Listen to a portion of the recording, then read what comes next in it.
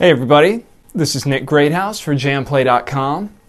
And uh, today, or right now, we're going to be starting off my lesson series.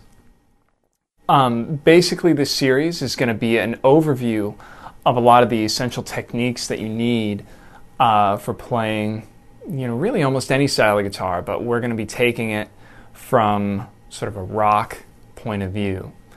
Uh, we're going to break it up into a few different subjects or topics.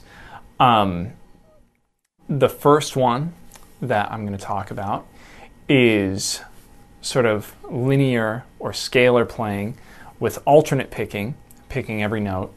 Then we're going to do the same sort of approach, but with legato playing.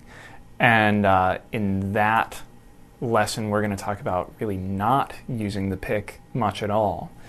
And uh, then another topic is going to be arpeggios and sweep picking and developing that technique.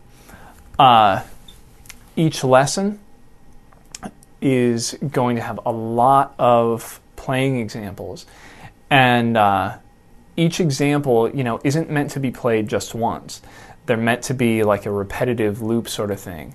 Like a lot of the picking exercises are only going to be a measure long, but they're designed so that you can play them over and over and over again. Same thing with all the legato or hammering on and pulling off exercises and with all the sweeping exercises.